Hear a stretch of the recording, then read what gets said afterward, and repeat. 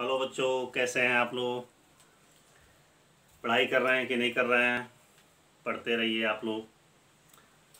तो आज intermediate twelfth के बच्चों के लिए इनवाइस का चैप्टर चल रहा था।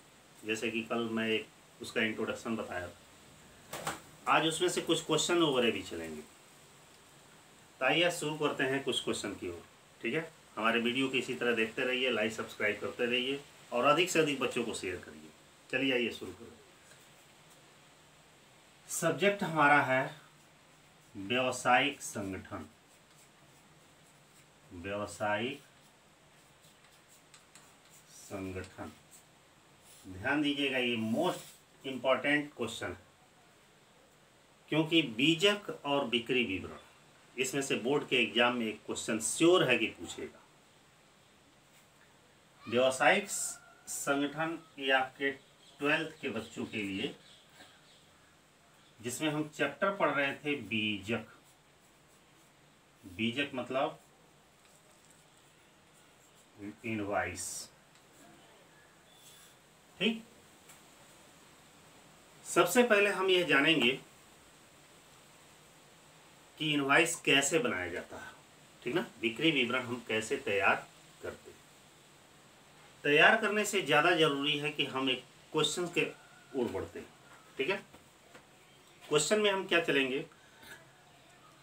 इधर मैं क्वेश्चन लिख रहा हूँ। मान लीजिए कोई मैसर्स, कोई कंपनी वाला है या किसी, कोई फर्म वाला है, एक ए टू जेड कोई भी फर्म ले लीजिए, जैसे messrs, Kanpur, messrs Kanpur fancy limited. Fancy. Messrs Kanpur fancy limited. ये क्या है? एक बिज़नेस। वो फैंसी वस्त्रों को का ये विक्रेता है। ठीक है? मैसर्स कानपुर फैंसी लिमिटेड ने messrs. Gorakhpur. Messrs Gorakhpur.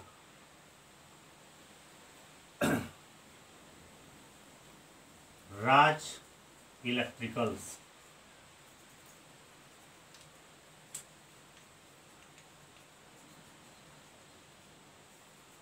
Messrs Raj electricals को निम्न माल बेचा।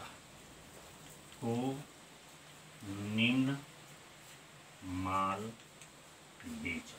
ध्यान दीजिएगा। मैसर्स कानपुर फैंसी लिमिटेड, एक कंपनी है, विक्रेता है, उसने मैसर्स गोरखपुर राज इलेक्ट्रिकल्स को निम्न माल बेचा। अब क्या माल बेचा? क्योंकि बीजक वहीं मनाया जाता है जहाँ एक विक्रेता क्रेता को कुछ माल बेचता है और बेचने के बाद से उसका सारा एस्टिमेट तैयार करके, विवरण स्टेटमेंट तैयार करके वह क्रेता को सुपुर्द करता है। क्या बेचा? पचास सीलिंग फ़ैन। पचास सीलिंग फ़ैन। फ़ैन मैंने पंखा। जिसका रेट है जिसका रेट है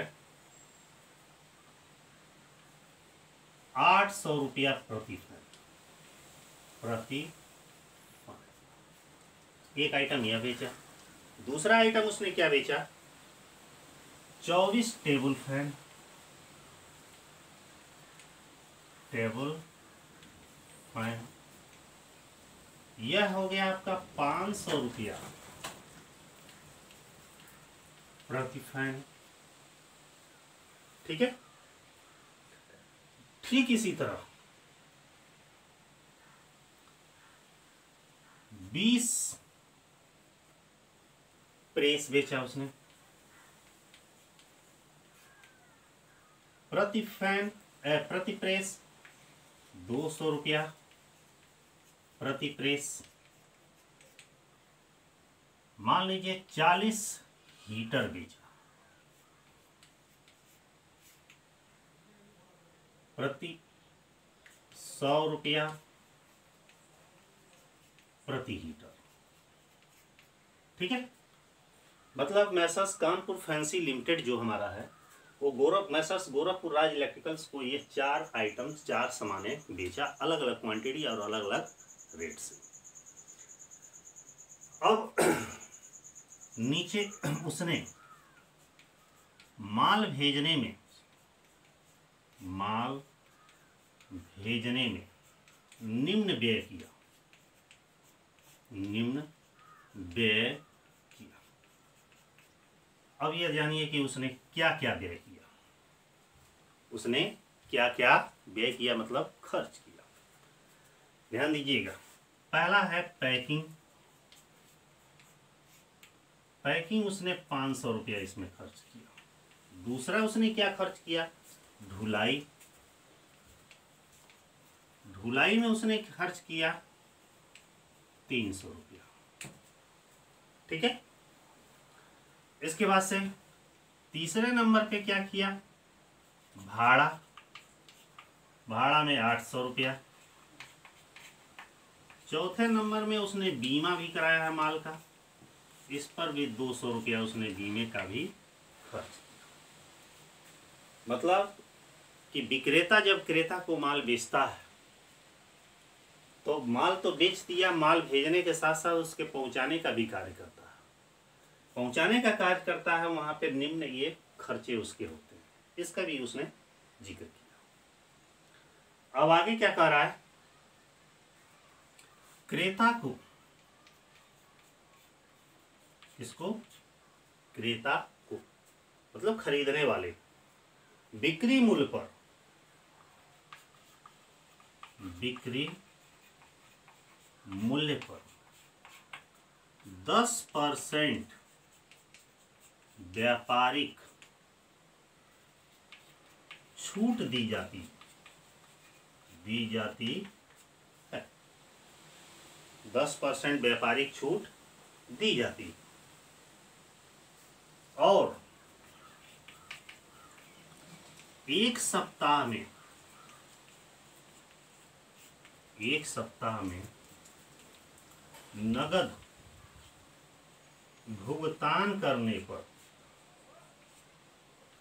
करने पर दो परसेंट नगद छूट दी जाती है। छूट दी जाती ठीक है? ओके प्रश्न में यह कह रहा है कि बीजक तैयार कीजिए। बीजक तैयार यही आपका कंप्लीट क्वेश्चन है। ध्यान दीजिएगा क्वेश्चन को एक बार और पढ़ लीजिए। उसके बाद से प्रोफार्मा आपको मैं तैयार कर रहा हूँ। मैसर्स कानपुर फैंसी लिमिटेड, एक विक्रेता कंपनी, एक संस्था है। जो माल बेचने का कार्य उसने अपने छोटे रिटेलर को कि गोरखपुर में मैसर्स राज इलेक्ट्रिकल्स जो है, उसको उसने निम्न माल बेचा। बेचा क्या? उसने पचास सीलिंग फ़ैन बेचा, आठ सौ रुपये के रेट से प्रति। चौबीस टेबल फ़ैन बेचा, पाँच सौ रुपये प्रति फ़ैन के रेट से। बीस प्रेस बेचा, दो सौ रुपये प्रति प्रेस के रेट से। और चालीस हीटर बेचा, सौ रुपये प्रति हीटर के रेट से। उसने माल भेजने में निम्न खर्चा किया। खर्च किया गया पैकिंग पे पाँच सौ रुपया ढुलाई पर तीन सौ रुपया, भाड़ा पे आठ सौ रुपया, बीमा पर दो सौ रुपया। क्रेता को बिक्री मूल्य पर दस परसेंट व्यापारिक छूट दी जाती है मतलब उसके यहाँ सामान खरीदेगा तो उसको दस परसेंट व्यापारिक छूट दी जाती है। अब यहाँ थोड़ा ध्यान दीजिए, व्यापारिक छूट और नगद छूट क्या होता है? इसका अलग वीडियो में बताऊँगा, लेकिन एक लाइन में समझ लीजिए। वह छूट जो माल को बिक्री, माल की बिक्री बढ़ाने के लिए सभी प्रकार के ग्राहकों को एक समान रूप से छूट दी जाती है तो उसे व्यापारिक छूट कहा जाता है। और नगद छूट क्या होती है? कि जब क्रेता नगद माल का भुगतान करता है तो वहाँ पे जो छूट दी जाती है, वो नगद छूट कहलाती है। व्यापारिक छूट का लेखा पुस्तकों में नहीं किया जाता है, लेकिन नगद छूट का लेखा पुस्तकों में किया जाता है। इसका विस्तृत विवरण अगले वीडियो में हम बताएँगे। और आगे कह रहा है कि बिक्री मूल्य पर दस परसेंट व्यापारिक छूट दी जाती है, और यदि एक सप्ताह के अंदर वो पेमेंट कर देता है तो वहाँ पे दो परसेंट नगद छूट दी जाएगी। प्रश्न में कह रहा है कि आपसे बीजक तैयार ठीक है? अब यहाँ पे ध्यान दीजिएगा कि हम कैसे बीजक बनाएँगे। तो सबसे पहले हम बीजक बना रहे हैं। ध्यान दीजिएगा। तो ये आपका पेज है। इस पेज के सबसे ऊपर बीचों बीच में, मान लीजिए ये तो आपका क्वेश्चन हो गया था। क्वेश्चन हो गया था? इस पेज के सबसे बीचों बीच में क्या हम लिखेंगे? उस व्यक्ति का नाम, किस व्यक्ति का नाम? जो माल बेच रहा है। उसका नाम लिखेंगे। माल बेचने वाला कौन है? Messrs Kanpur fancy limited. Messrs Kanpur fancy limited. ठीक है? यह विक्रेता, ध्यान दीजिएगा, बीजक तैयार करते समय विक्रेता का नाम पेज के सबसे ऊपर बीचों बीच में होना चाहिए। ओके? इसके बाद से इसके राइट साइड में उस स्थान का नाम होना चाहिए जहाँ वो विक्रेता कंपनी है। विक्रेता कंपनी कहाँ? कानपुर में। उस कान, उस स्थान के जस्ट नीचे। उस डेट का उल्लेख होना चाहिए जिस डेट में उसने माल बेचा है। मान लीजिए कोई भी डेट है, जैसे आज ही है। मान लीजिए है छ कितना आठ, दो हज़ार ठीक है? ठीक इसी तरह। मैसस कानपुर लिमिटेड के जस्ट बाई साइड में नीचे, ध्यान दीजिए, होना चाहिए तार का पता। जो भी उसके टेलीग्राम का पता है, वह होना चाहिए। टेलीग्राम का पता कुछ भी हो सकता है। क्या हो सकता है? मान लीजिए, शेर, कुछ भी हो सकता है। उसका अपना टेलीग्राम का कोड जो है, शेर हो सकता है, आकाश हो सकता है, मंदाकिनी हो सकता है, किसी का नाम हो सकता है, किसी वस्तु का नाम हो सकता है, कुछ भी हो सकता है। यह कोई ज़रूरी नहीं है कि ऐसे हो ए बी सी डी भी हो सकता है, ठीक है? चलिए, थोड़ा शेयर अच्छा नहीं लग रहा है। इसको हम ए बी सी कर देंगे टेलीग्राम का पता क्या हो जाएगा? ए बी सी इसके बाद से उसका फ़ोन नंबर होगा। Phone number. फ़ोन नंबर में zero five three nine two seven three two. कुछ भी हो सकता है। जो उसका रियल में नंबर है, ये भी कोई नहीं है। क्वेश्चन हल करते समय ये रियल नंबर नहीं डाला जाता है। आपको जो सुविधा हो, वो अंक डाल दीजिएगा। ठीक है उसके बाद से उसका कोड होता है। Code A, B oblique C D कुछ भी लिख सकते हैं। वन, टू टू कुछ भी लिख सकते हैं कोड, जो भी आप। यह प्रश्न में दिया गया है, वो कोड लिखिए। जब यह समाप्त हो जाएगा, तब मैसर्स कानपुर फैंसी लिमिटेड जहाँ लिखे हैं और ये आपका टेलीग्राम का पता कान का एड्रेस ख़त्म होने के बाद से एक चौकोर कालम बनाया जाएगा। ध्यान दीजिएगा। चौकोर कालम। इस कालम में क्या लिखा जाएगा? यह ध्यान दीजिएगा। लिखा जाता है सबसे पहले बीजक संख्या। क्या लिखा जाता है? बीजक संख्या। बीजक संख्या भी, प्रश्न में बीजक संख्या दिया है तो ठीक है, नहीं दिया तो आप अपने मन से कुछ भी लिख सकते। हैं क्या लिख देंगे? Two, three, five. एक चीज़ और लिखा जाता है, आदेश संख्या। आदेश संख्या। कुछ भी लिख सकते हैं। ए बी वन टू ठीक है?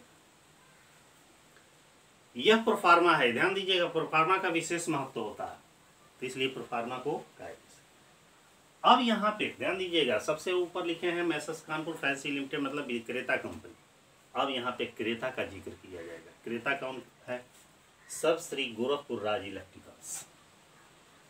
सर्व श्री गोरखपुर राज इलेक्ट्रिकल्स। ठीक है? सर्वश्री गोरखपुर राज इलेक्ट्रिकल्स यदि क्वेश्चन में कोई शर्त दी गई है तो यहाँ शर्त भी लिखा जाता है। शर्त क्या था? कि यदि वो एक सप्ताह के अंदर भुगतान कर रहा है तो दो परसेंट नगद छूट दी जाती तो लिख देंगे। एक सप्ताह के अंदर भुगतान करने पर भुगतान करने पर दो परसेंट नगद छूट। ओके? अब इसके बाद से हमारा प्रोफार्मा शुरू। ध्यान दीजिएगा प्रोफार्मे में।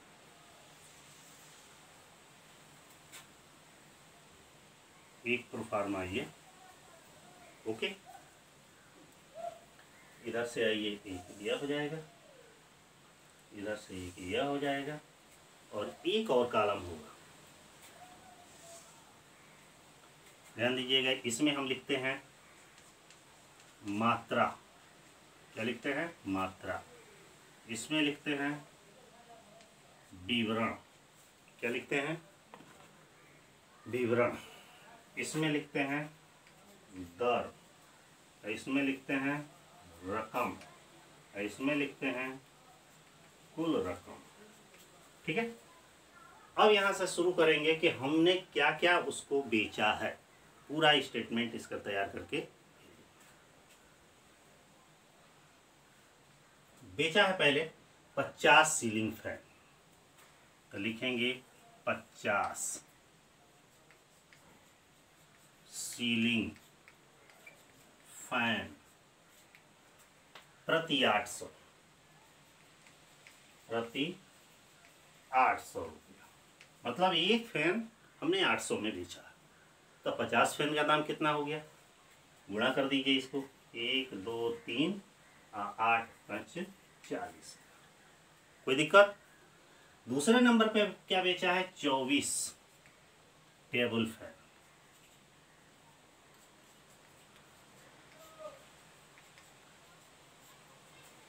क्या रुपया?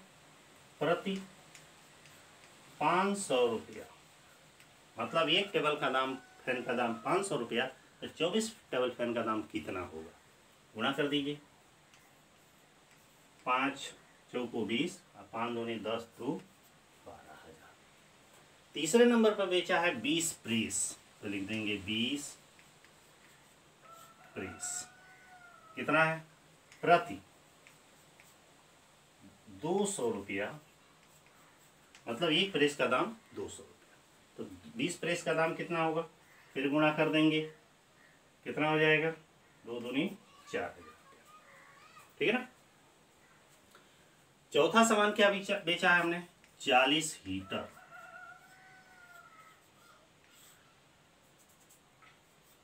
चालीस हमने हीटर बेचा है। प्रति सौ रुपया। कितना हो जाएगा? गुणा कर दीजिए एक, दो, तीन, ज़ीरो, चार। ठीक? जो जो सामान हमने बेचा है, उसका इस प्रोफार्मे में हमने ज़िक्र कर दिया। ज़िक्र करने के बाद से हम क्या करेंगे इसका यहीं पे टोटल कर देंगे। इसी कॉलम में, इसमें नहीं। ध्यान दीजिएगा। तीन, चार चार, आठ, दो, दस, चार, एक, पाँच और एक कोई दिक्कत? जब यह हो जाएगा तो इसके पास से प्रोसेस देख लीजिएगा, चाहे क्वेश्चन कोई भी हो, सामान हमारा कोई सा भी खरीदा, बेचा गया हो, उससे हमसे मतलब नहीं है। कैसे बनाया जाता है, ये चीज़ ज़्यादा माने रखता है। जो बेचे हैं हम सबसे पहले उसे बेचने के बाद से सबका टोटल कर लिए हैं। अब इसके बाद से हम घटाया जाता है। घटाइए, लिखा जाता है, घटाइए। घटाइए में क्या घटाया जाता है? यहाँ नीचे लिखा हुआ। लिखा है कि क्रेता यहाँ पे लिखा है, क्रेता को बिक्री मूल्य पर 10 परसेंट व्यापारिक छूट दी जाती है। मतलब जो भी व्यक्ति माल खरीदेगा, उसको दस परसेंट डिस्काउंट दिया जाएगा। घटाइए। लिखा है व्यापारिक छूट। व्यापारिक छूट टेन परसेंट। यह किसका टेन परसेंट? जो अभी हम टोटल किए हैं। किसका टोटल किए हैं? साठ हज़ार। जो जो बेचे हैं, उसका कितना परसेंट? टेन परसेंट कितना हो जाएगा छः हज़ार रुपया। घटाने के बाद से हमारा कितना आएगा? चौवन हज़ार रुपया आएगा। आएगा? इसके बाद से और भी कुछ है। इसमें कुछ खर्चों का भी उल्लेख किया गया। जितने भी खर्चे होते हैं, जितने भी खर्चे होते हैं, उन सभी खर्चों को इस बिक्री मूल्य में जोड़ दिया जाता है। तो अब लिखा जाएगा जोड़िए। समस्त खर्चे। समस्त खर्च। खर्चे में क्या क्या है? चार खर्चे पैकिंग है। पैकिंग कितना है? पाँच सौ रुपया। और क्या है? ढुलाई है। कितना है? तीन सौ रुपया। भाड़ा है। कितना है? आठ सौ रुपया। और बीमा कितना है? दो सौ। सबको जोड़ देंगे हम तो कितना हो जाएगा? आठ, दो, दस, तीन, तेरह, पाँच अट्ठारह सौ रुपया। कोई दिक्कत? इस अठारह सौ रुपये को इस बिक्री मूल्य में हम क्या करेंगे? जोड़ देंगे। जोड़ने के बाद से लास्ट फाइनल अमाउंट हम इस कॉलम में लिखेंगे ज़ीरो ज़ीरो, आठ के आठ, चार एक, पाँच और पचपन हज़ार आठ सौ। अर्थात अंत में हम यहाँ पे लाइन खींच देंगे और इसका टोटल लिख देंगे। ये हो जाएगा हमारा पचपन हज़ार आठ सौ। कोई दिक्कत? पचपन हज़ार आठ सौ। जो ये अंक में लिखा गया पचपन हज़ार आठ सौ। उसे हम यहाँ शब्द में भी लिखेंगे। क्या? पचपन हज़ार आठ सौ रुपये मात्र। ध्यान दीजिएगा, ऐसे हमारा बीजक का ये प्रोसेस जब ये एक तरह से ये बीजक कंप्लीट हो गया, लेकिन थोड़ा सा और इसमें बाकी है। क्योंकि जगह स्पेस कम पड़ गया, ध्यान नहीं दिया। लेकिन खैर, यहाँ लिखा जाता है, भूल चूक लेन देन लेनी, देनी। ठीक ना साइड में, भूल चूक, लेनी, देनी। नीचे और भी लिखा जा सकता है, माल सवारी, गाड़ी से। भेजा गया। भेजा गया। मैंने वो बताएगा कि माल सवारी गाड़ी से हमने भेज दिया। ठीक ना? और भी इसमें नीचे लिखना चाहते हैं कि बिल्टी संख्या हमारा इतना है। और भी लिखा जा सकता है कि हमने payment Punjab National Bank State Bank Central Bank या जो भी नेशनलाइज बैंक या किसी अदर बैंक है, उससे हम कर दे और इधर लिखा जाता है वास्ते। वास्ते का मतलब है कि किस व्यक्ति ने ये बीजक तैयार किया। तो वास्ते में यहाँ पे किसने लिखने वाला है? Messrs Kanpur fancy limited. Messrs Kanpur fancy limited. इसने हमने, इसने बीजक तैयार किया। तो इस तरह ये आपका कंप्लीट बीजक तैयार हुआ। इसको अच्छे से नोट कर लीजिएगा बाबू। देखिएगा ध्यान से कि इसी पैटर्न पर सारे बीजक तैयार किए जाते हैं। ये एक क्वेश्चन तक खत्म हो गया। मैं कल के वीडियो में फिर फिर एक बीजक एक बार और बताऊँगा आपको, दूसरे क्वेश्चन के साथ, ठीक है ना? तब तक आप इस क्वेश्चन को अच्छी तरह से समझिए, इससे रिलेटेड जितने भी क्वेश्चन होंगे, वो सारे क्वेश्चन आप हल करिए, क्योंकि बीजक के लिए सिर्फ़ एक ही प्रोसेस है, एक ही प्रोफार्मा है, जो आपके सामने दिया गया है, ठीक ना? बीजक तैयार करते समय ध्यान दीजिएगा। सबसे पहले उसके प्रोफार्मे पे ध्यान दिया जाता है। विक्रेता का नाम सबसे पेज के बीचों बीच में होता है। उसके बाद पता और डेट जिस तारीख को बेचा। बाएँ साइड में राइट लेफ़्ट साइड में तार का पता फ़ोन नंबर कोड लिखा जाता है। विक्रेता का नाम जहाँ लिखे हैं, उसके जस्ट नीचे एक कॉलम बनता है। मैंने चौको कॉलम आयताकार बनता है, जिसमें बीजक संख्या और आदेश संख्या लिखा जाता है, जो काल्पनिक होता है या प्रश्न दिया वो होता है। इसके बाद से क्रेता का नाम लिखा जाता है, जिसको हमने बेचा है, सब श्री गोरखपुर राज इलेक्ट्रिकल्स। यदि कोई कंडीशन या शर्त दी गई है तो उसके बाद उसका उल्लेख किया जाता है, उसके बाद प्रारूप बनाया जाता है। इस प्रारूप में कुल पाँच कालम होते हैं। एक, दो, तीन, चार, पाँच। पहला कालम मात्रा, विवरण, दर, रकम और कुल रकम। विवरण में सबसे पहले जिस जिस चीज़ों का माल बेचा जाता है, जो सामानें बेची जाती है, उसको लिखा जाता है। और लिखने के बाद से जितने बेची गई हैं, सबको टोटल कर दिया जाता है। टोटल करने के बाद से उसमें से व्यापारिक छूट घटा दिया जाता है। व्यापारिक छूट घटाने के बाद जितने भी खर्चे होते हैं, सबको जोड़ देते हैं। जोड़ने के बाद से फाइनल अमाउंट हम टोटल रकम में लिख देते हैं। नीचे इसके बाद से टोटल रकम को शब्दों में भी लिखा जाता है, अंक शब्द दोनों में। बोल चूक, लेनी देनी लिखा जाता है। माल सवारी गाड़ी, रेलगाड़ी, बस, ट्रक, जिससे भी भेजा गया उसका उल्लेख कर दिया जाता है। पेमेंट कैसे करेगा, इसका भी आप ज़िक्र कर सकते हैं। बेटी संख्या लिख सकते हैं। फिर लास्ट में जो बीजक तैयार करता है, उसका नाम पता सिग्नेचर होता है। ठीक है? तब तक के लिए हमारा वीडियो यहीं पे समाप्त हुआ। हमारे वीडियो को आप कंटिन्यू देखते रहिए। चैनल को हमारे लाइक सब्सक्राइब करते रहिए। आपका कंप्लीट ट्वेल्थ बोर्ड्स एग्ज़ाम का सिलेबस आप लोग को इसी यूट्यूब चैनल पर दे दिया जाएगा। तब तक के लिए